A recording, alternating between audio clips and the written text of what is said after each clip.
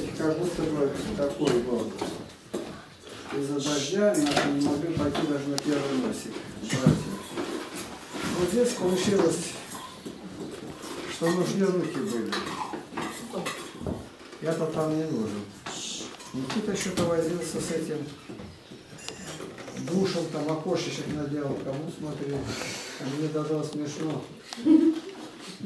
Женщины где переодеваются, и бывает, говорит, еще мать родила, вдруг он туда окошечек наделала.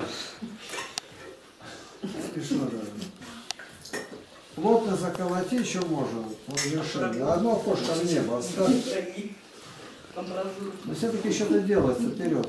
Теперь еще там бочка даже у меня есть дырявая, ты ее пускай берут и делают, другой не будет. У меня еще больше нет. Остальное мне самому нужно. А предлагает пшеницу. Знаете, можно сказать? Ну а если в эту дырявую бочку пересыпать пшеницу?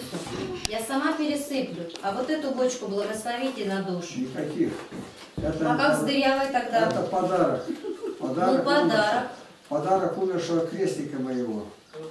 Я никогда к ним не прикоснусь. Эти бочки для голубей. Сразу скинь, как будто бы их не было. Их только в прошлом году мне привезли как дар моего крестника. Я их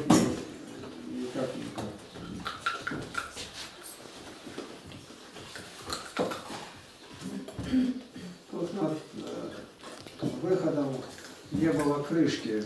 Володя сделал. Не очень хорошее покрытие, там старое рубероид, но все-таки что-то сделали. На крыше у голубей крыша прорвана была, завернула ли там ее. И Володя тоже полез там, направил. Видите, это все за день. Вот, пошли ребята, там, о, Рыж, а, о, шар, да, Игорь, рыжая моя, давно ты иди туда, давно ты не была. Набегалась сегодня. А? Набегалась сегодня, говорю. На улице? Ну, Она чтоб не здесь. Она сама пришла обратно. Я не нужен там на работе, в первом мостике, но я объехал все деревни, предупредил, чтобы коров туда не гоняли. Потому что под водой мы натянули проволоку. А проволока соединенная, торчит, и корова, вы не, она не видит корову, а корова-то зайдет попозже. И сразу вымя воткнется, и вымя оторвет просто. Предупредил всех, по домам проехал, к батюшке заехал. Ну не знаю, будут выполнять или нет. Это все сегодняшний день, и как будто бы ничего нет, а так оглянулся и даже что В этот именно день часы механические. Завод на неделю. Я сегодня, Володя, думал, почему голуби отсюда перебазировались туда. Это не случайно. А не случайно почему? Потому что они чего-то боятся. А чего они боятся? Боятся того, что грозит смертью. Смерть. Смертью. Так, а что может грозить смертью? Люди, людей они не боятся. Так надо гонять, гонять, гонять, и то они залетят. Они садятся сейчас на кормиле, а залетать внутрь ни один не залетает. Я приехал, ну было, допустим, 20 голубей, ни одного нету. Один был, и того нету. А тут лежит растерзанные, крылышки они там лежат и все. Кошки там нету, все проверил, нету. Но есть один разбойник, это э, грабитель, убийца и киллер непрерывный. День и ночь. День и ночь убивает все, что есть вокруг. И он пролезет в самую малую щель. От него спастись я пока не знаю как. Только его ловушку ставить. Ну, пока никого нет, они перелетели. И их нету. Кто знает этого зверя? Ласка. Да. Ласка. Маленькая. Она не- неукротимая, она день и ночь рыскает, вылазит, как шнырек. Мне отойти надо будет. Виктор Савченко там на мотоцикле застрял, пешком сейчас пришел. И вот сейчас Роман поедет, на машину загрузим и, и увезем. А что за грузит? Мотоцикл. Поехал на мотоцикле и застрял там в околочке где-то. Виктор засел? Да, на мотоцикле. на мотоцикле. А что, мотоцикл сломался? Не знаю, что-то там что-нибудь произошло. А как, поднимать или волоком? Ну, на, на прицеп и повезем сюда. Поднимать надо, да, на прицеп. А что поднимать? -то? А? А Он не едет своим ходом. А ты-то при чем? Ну помочь погрузить его. В В машину? Да, да, в машину. В машину вам не погрузить его. Почему Роман, Виктор, я, поднять руками. конечно. Сколько он весит? А я не знаю. Нет, не поднять. Вы животы надорвете. Зачем он надорвем? Дело ваше. Я считаю, не надо волоком его. Потихоньку волоком дотащите. Не поднимайте. Нужды нет. Я в голове думаю я так, а поэтому они летят. Что делать? Подождать, когда утихнет, она будет залазить, а там никого нету. И тогда их обратно перетащить. А они перетащенные будут все время теперь туда смотреть. Главное на землю выделать. Это вот на сегодня. Вот сколько дал Синовых тут репей. У него корень глубокий.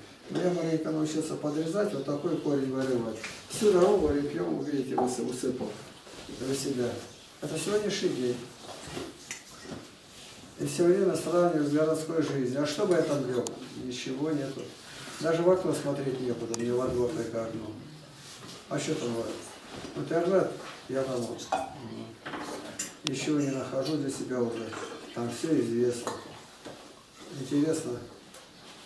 Ну, интересно просто нет этому.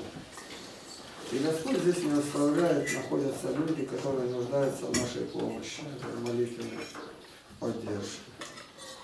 Но это главное. И вдруг приезжает вот Василий, Лапкин фамилия, у меня двоюродный брат Лапкин Василий, на год старше меня, в прошлом году умер, это племянник. И он ну, с помощью приехал. О чем я не просил. И поэтому за него поблагодарить Бога тоже помню. Очень расположен. Вот пришел сейчас, уже электричество провел. Видите как? Вроде день такой, э, дождичком, а, а все благодатно. И даже прутья лежали они несколько лет тут. Я порубил клен был, и то увезли на костер. А это тоже, тоже дело.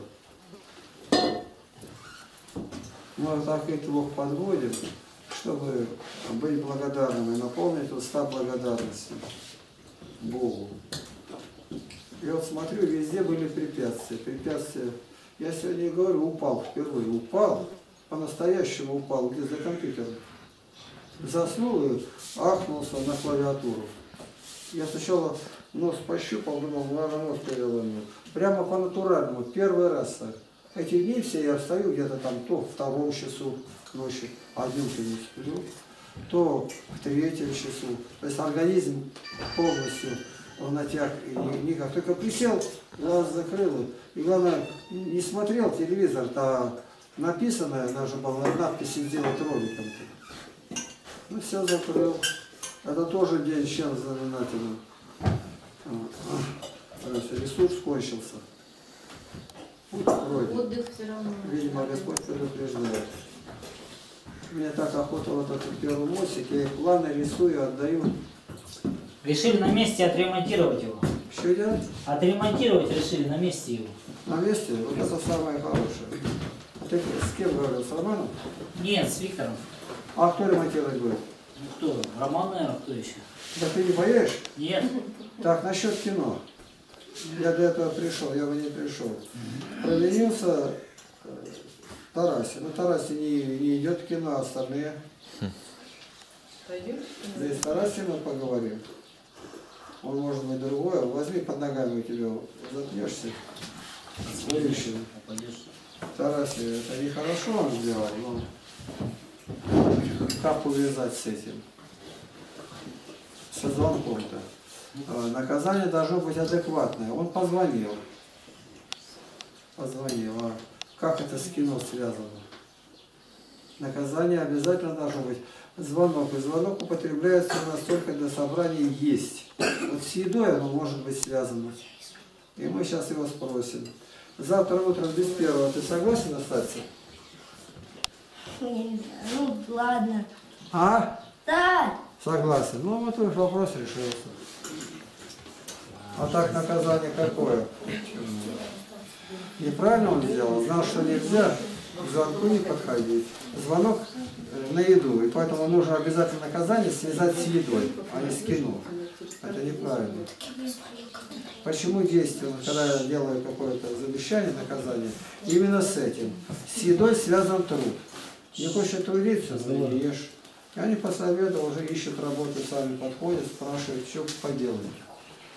Вот эти мои молодцы.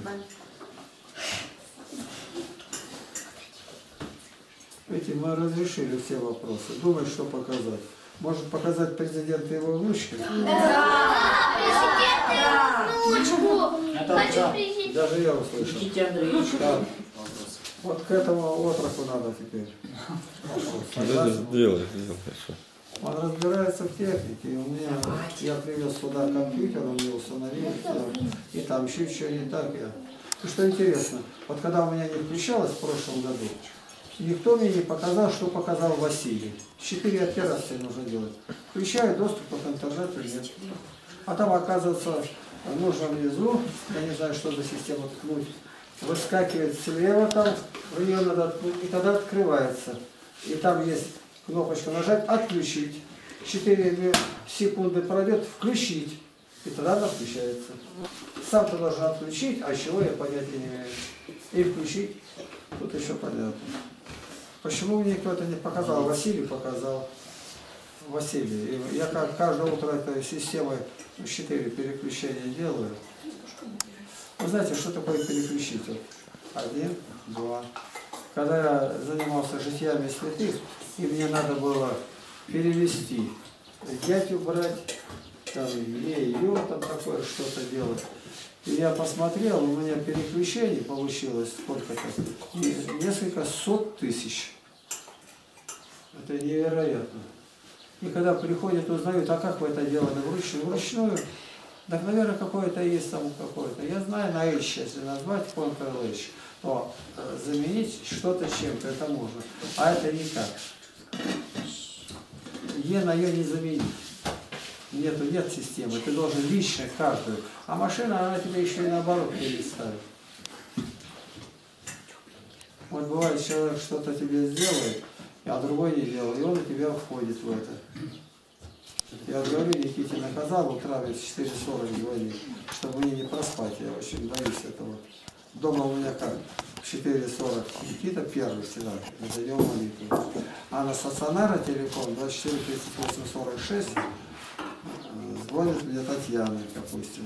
А Надежда Васильевна, у нее специально палочка, она в стену мне колотит, а я ей в ответ, что живые. То есть, а теперь я- она здесь и нету. И телефона того не касался, Никита один. Стационар там дома. Тарасе хочет вопрос задать. А что, можно? Я хочу сказать, что я перед едой звонил в звонок. Ну а кто тебе указывал? Перед едой. Так, так вовремя звонил или раньше? Вовремя. Знаете, обстановка меняется. Ему Володя сказал не трогать звонок. Он ему сказал. Он говорил дядя Володя так? Да, говорю. Николаевич, дело в том, что прежде чем сестры приготовились, кто-то из них уже звонил. То есть им сказали не трогать. Я подошел, сказал не трогать. Раз еще не готов пока. Ну, какой волшебный звоночек. Там кто-то уже, наверное, присел на звоночек, чтобы нарушить его. Там может быть какой-то зловредный микроб. приедет. Он в руки взял, сел на скамейку и говорил, положи на место, положил. И только на молитву всех призвал, он подскочил и обязательно позвонил. То есть вот так вот он сделал. Так, Тарасе, они говорят правду? Да. Вот тогда перед обедом, если бы тебе указания дали, пальцы не мусли, не, не слюнять. Вот. Тогда был бы один вопрос. А что у тебя на груди написано? Я не знаю. Трафик. Ну, кто-нибудь пускай. Wrong traffic. Я не знаю. что- Ну, какая-то связь с машиной связана. Что мне это написано? Wrong traffic. Дорожное движение. А что это трафик у вас, где трафик закончился? Ну, а дальше там Движение. разные движения. Один путь, остановка Движение и прочее.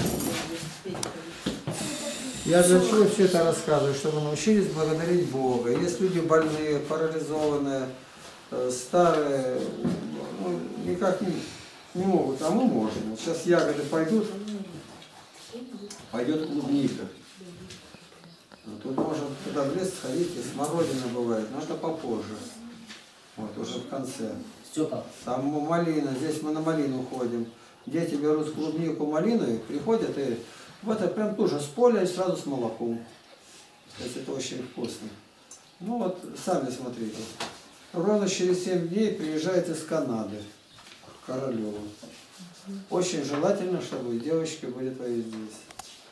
А девочки познакомься. будут здесь. Да. И кроме того, раз Лиза то не занимается музыкой, вот учительница рядом. Лилия, чтобы она занялась. Более я им скинул где она играет и прочее. Вот ты помнишь, что ты играешь на высоте, и ты уязвимый.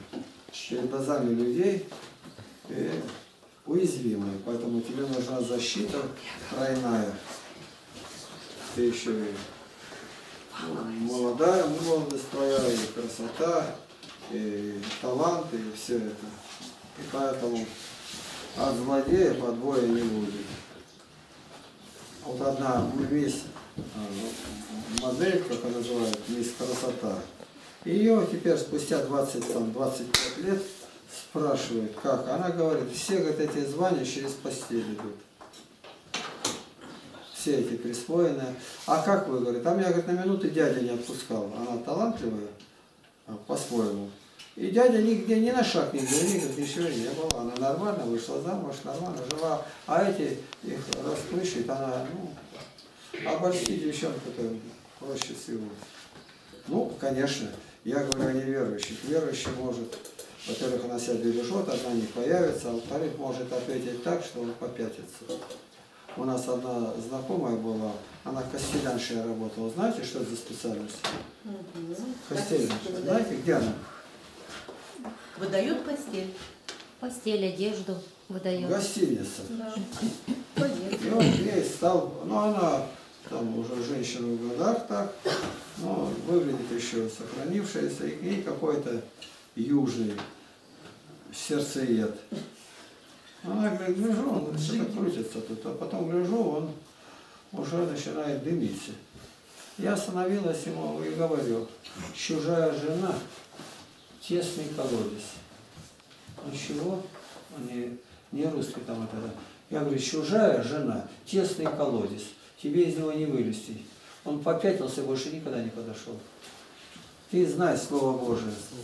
Там тесно, настолько тесно, ни рук не подать, ничего. Тебя засосало, и все, космическая черная дыра. Тебе уже никогда туда не выйти. И она его посадила на место. Я говорю, мне приходилось не раз беседовать, тут приезжают тут директоры. Ну вот вы приезжаете, отдыхаете, здесь, а земля это, ну когда еще Потеряевка не восстанавливалась, а это Югонин приезжал. Валерий Григорьевич, он был главный зоотехник, а потом, видимо, директор совхоза, а сейчас зоотехник, главный района. Это наша земля, а вы тут приезжаете. А мы сидим, его два сына, машина тут он приехал, никого больше нет, я один приезжал, тут 80 торчу, а ему нравилось. Он приезжал, и огонь горит у нас. Я говорю, Господня земля, и что наполняет ее? Из. Он опять переспросил, опять посидел, встал, ну я поехал. То есть Слово Божие такую силу имеет, что-то у него перед глазами сверкнуло, и все. А потом говорит, а вот в прошлый раз я приезжал с этим, вы думали кто? Ну, я говорю, сказали, что это ваш племянник. Нет. Это из КГБ офицер. Звали следят. Это был Виденко Александр Семенович. Какой-то там приходится. Был майором. Когда меня посадили, то другое, он стал генерал-майором в охране Ельцина. Они на мне такие звезды получили все. Я говорю, что еще, говорит, просто девица, отношение очень хорошее к вам, и виду даже не подал. И все зависит от нашей верности Иисусу. Если мы, ну, видишь, что мы без лукавства, истинно так, никогда не пойдем. На сделку. А они понимают, что если будут и другие здесь, допустим, ну, кто-то там, когда русские отступали, то немцы были, то мы никогда на предательство не пойдем. У меня знакомый был из баптистов, Михайлович, Михайлов. Михайлов, кажется, фамилия его, что-то. Юрий Иванович, инженер аппаратурного завода. Кажется, три раза отсидел. Он из баптистов отделенных, которые гнали. Ну, а, видимо, у него в родстве мать была немка, кажется. Хорошая женщина такая, но только быть христианкой православной. Она баптистка была. И вот его в Германии, там, это он, кажется, демократической был. И там свои. Нет, он уехал потом туда. И они его обрабатывать начали, чтобы он что-то сказал. Он говорит, я приехал-то сюда не за тем, чтобы вам а, какие-то тайны выдавать. Я этого не знаю, если и знал, бы никогда не сказал. Я знаю, что такое тюрьма. Ваша-то тюрьма против нашей это курорт. Он только приехал сюда в отпуск, его КГБ сразу вызвали. Ой, Юрий Иванович, молодец, как вы им ответили? То есть все то ли меняется опытом, то ли, то ли что. Я и не думал вам угождать, я просто христианин, говорит, я этого не могу. Когда его судили, и он такое сказал ему последнее заключительное слово, давали. И говорят, войну были так, собак брали, их не кормили. А кормить, когда заводят танк, и там зовет его хозяин, и она подбегает под танк. Ну и постепенно приучает, если танк залещал, она же бесится, под танк надо, там кормить, ей голодные держат. Ну на них навешивают противотанковые мины, собак собрали, тысячи собак. Немцы как огня их боялись. Ну и, а собаку, когда она бежит, вы, это же не человек. Их обвешивают э, этими взрывными устройствами. Вот вы, говорит, советских людей это ничему не учили, а только против верующих. Обвешали их этими агитками. Бога нет, то другое. Они идут и подрываются теперь. Замолчать, ну, это я все сказал. Ответы. И будто бы однажды он ехал дорогой, и одна женщина, цыганка, она отгадывала людям три вопроса. Три вопроса, за какой там сду, вот. Ну кто что загадать? Ну что загадать-то? А отгадать она или нет? Что у меня в кармане лежит? Вот. Ну она говорит, что у тебя в кармане лежит? Платочек. Деньги лежат. Два двадцатика и один рубль. У тебя больше ничего, говорит, там нет, и прорванная дырка. Ну, людям показывают. Другой загадал. Но он тоже взял, загадал. Она руку берет, посмотрела ему, там линии, как сходятся, расходятся, хироманты. Потом вот так руку у него бросила, еще захотел. И сразу легла и больше не стала. А теперь уже с ней никто не разговаривает. А тогда на него, ты что ты так мог сказать? Она весь день тут э, хорошее дело делала, а ты отбил, так интересно было. Он говорит, а пусть она скажет. Пусть ее спрашивает, она даже не проглотила язык. Ну, тогда он и говорит, я первый вопрос задал. Какой силой ты это делаешь? Кто дал тебе эту власть? Ну, ну, она должна поответить, вы сейчас задайте. Она не отвечает. Она должна ответить, от сатаны.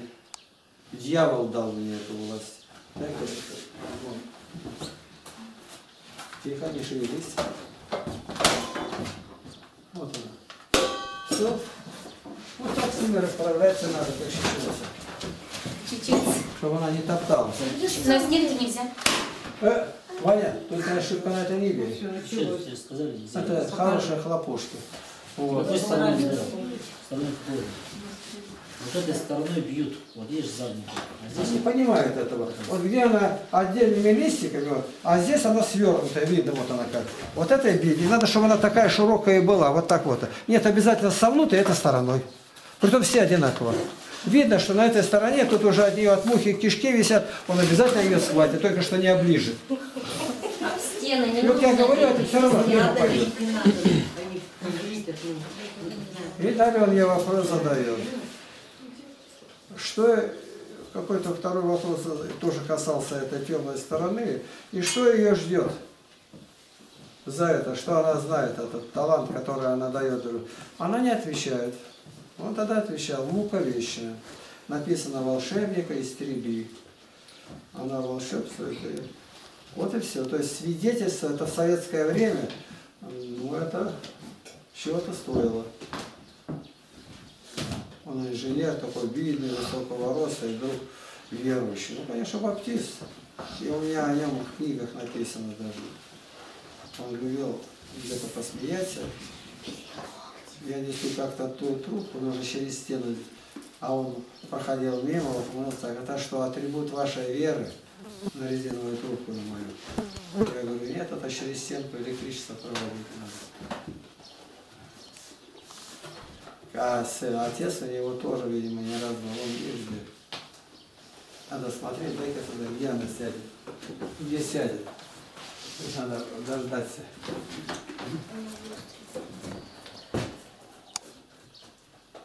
Так, пошла.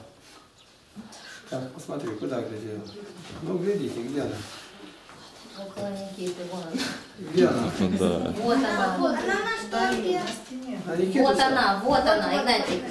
Летает. Вот она. Вот, давайте, хлопайте. Да, еще я такой увидел, по, на степе, кажется, он чуть не упал. Это как медведь булыжником. Вот она летает над головой, вот она. Все боятся. Вот она. Вот она села. Ну что, Встала. Нет, так почти.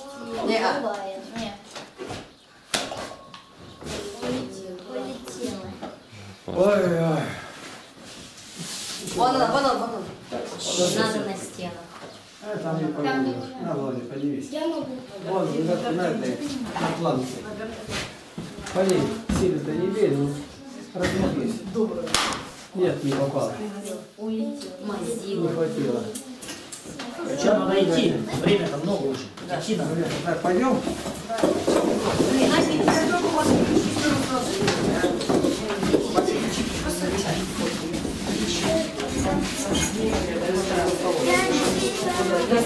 Позже. Тесно. Да он заходит так снова, а мне нравится.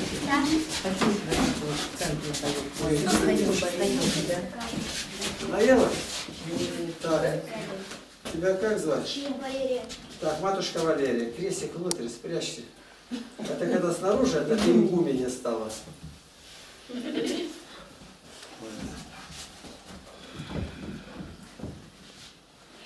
Благодарим Тебя, Христе Боже наш, что напитал Ты изменить благом. Не лишь тоже небесный Твой благ, но как посреди учеников пришел Ты, принес мир, так приди к нам и спаси нас. Слава Тебе, наш Господь, за все Твои милости и щедроты, за все Твои благодеяния. Слава Тебе, Боже наш, слава Тебе. Аминь. Спаси Христос.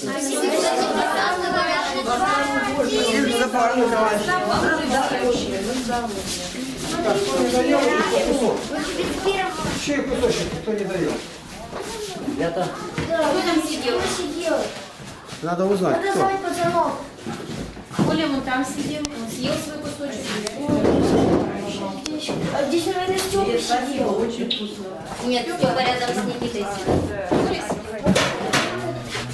Это, вот мне без первого. Кто? Подождите, вас спросит руки Оля и Степа, подойдите сюда быстрее. Очень похоже, что вывелись ласточата. Да, да, щебечет. А? Щебечет, да. Ну вот, и вот.